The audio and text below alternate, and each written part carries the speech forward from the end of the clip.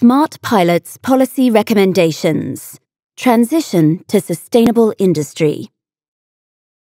Bioeconomy is an important global tool that offers significant opportunities for sustainable economic growth in Europe. How can we enable our industry to make this transition? Shared pilot facilities allow industry to bring bioeconomy innovations from the laboratory into industrial practice. They are open to all companies and research institutes as shared investments in a wide range of innovative, state of the art equipment and expertise.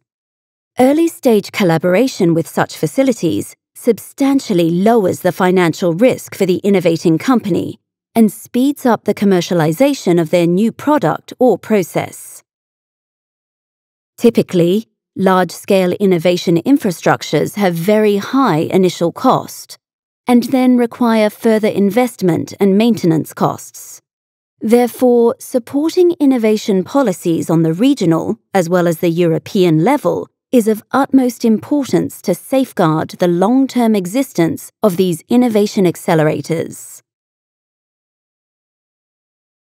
Smart Pilots, an Interreg Europe project, has brought together the six leading European shared pilot facilities and their regional authorities. Based on the thorough analysis of the different business models of the facilities involved, the consortium proposes the following policy recommendations to support bioeconomy piloting. 1. Invest wisely and focus on maintaining and further developing existing facilities to keep their state of the art equipment up to date. 2. Create mechanisms to encourage usage of already existing shared pilot facilities, even if these are located outside their own region. 3. Increase coordination and collaboration between pilot facilities improve users' awareness of the available facilities, and avoid overlapping investments in Europe. 4.